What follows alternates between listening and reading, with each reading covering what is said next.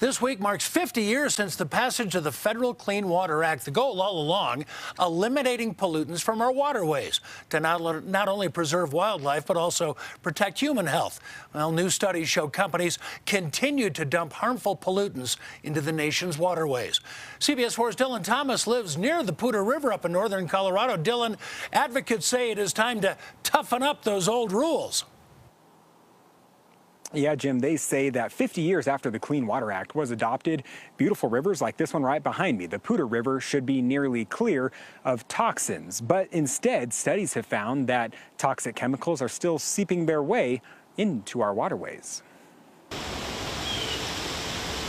In 1972, the Clean Water Act was supposed to help eliminate harmful chemicals from rivers. And that's really a bedrock piece of environmental legislation designed to clean up our nation's waterways. And instead, here we are, 50 years out, and recent data reported to the EPA shows that in Colorado, industrial facilities dumped over 1.3 million pounds of toxic chemicals into Colorado's waterways. Some chemicals that leak into our rivers by industrial companies can not only damage the ecosystem, but also harm humans.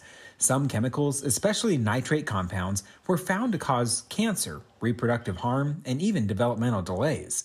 Alex Simon of the Colorado Public Interest Research Group says those chemicals are still being leaked here in Colorado. So we see that despite the protections and the intent of the Clean Water Act, there's still a large amount of dumping of toxic chemicals across the state in Colorado. Currently, the scope of the Clean Water Act is being reviewed by the Supreme Court, which some say could reduce the amount of waterways protected rather than increase the number, which Simon wishes to see. Colorado Attorney General Phil Weiser has written support of strengthening the protections. Our children, our residents deserve access to clean water to swim in, to drink, and to enjoy, and it's time to stop this reckless dumping.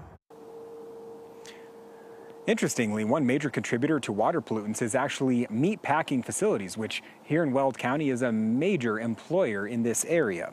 In a statement to, CD, uh, to CBS, CDPHE, the Department of Public Health, said they continue to work with entities like the Department of Natural Resources and Parks and Wildlife to protect waterways and also with treatment companies to make sure that the water is safe for those of us here in Colorado.